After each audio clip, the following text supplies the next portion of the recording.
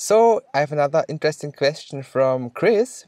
So Chris basically asked what's the difference between normalization and uh, min-max scaling.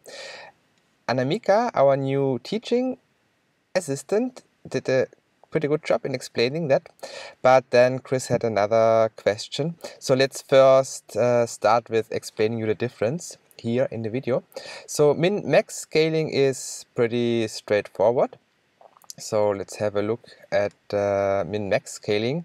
So you take, first of all, you need to find out the minimum and the maximum value in your data. Let's consider we have a data set which contains 5, 7, and 10. Okay, so the minimum value is 5 and the maximum value is 10.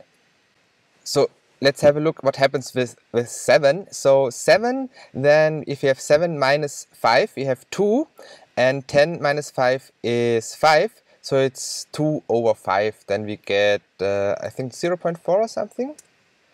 Yeah 0 0.4 okay so that means we have always here in this formula a guarantee that the value is between 0 and 1 that's a pretty nice feature. So we use the feature of the formula to scale our features between 0 and 1. There is also in the SparkML documentation an extension to that formula where you can specify the minimum, minimum and maximum value of your desired output. That means you can also specify that the output should be between should be between 0 and 100 for example and as you can see here if you are using the default values 0 and 1 you basically have max minus min, so that's um, 1 minus 0, that's 1,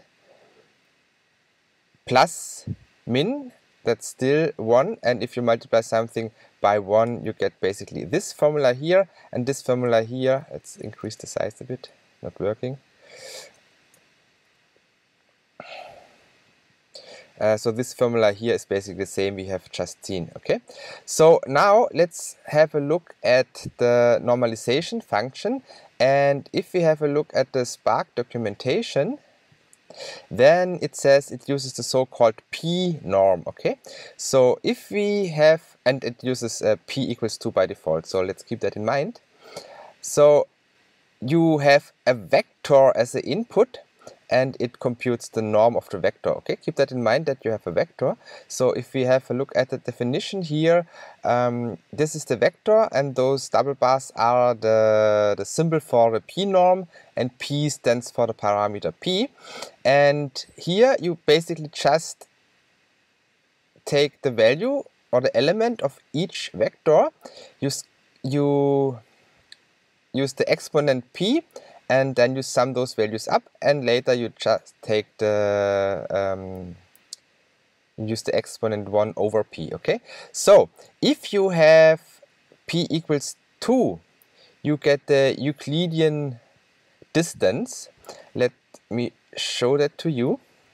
So let's consider p equals 2 that means you square each element of the vector and later on you take the square root because taking uh, using the exponent 1 over 2 is basically the square root. So you see that here you have here x1 squared plus x2 squared and so on and then you take the square root of everything okay? And that's also defined as the Euclidean distance.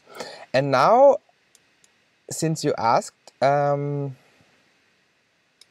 where was your question? Ah since you asked here so you're confused because you used p1 and then um, you say it's it, it just divides by the absolute vector sum. So this is not 100% correct because if you use p equals 1 you get the so-called Manhattan or taxi cab norm and that's basically just summing up all individual values of the vector, which is pretty clear if you consider p equals 1.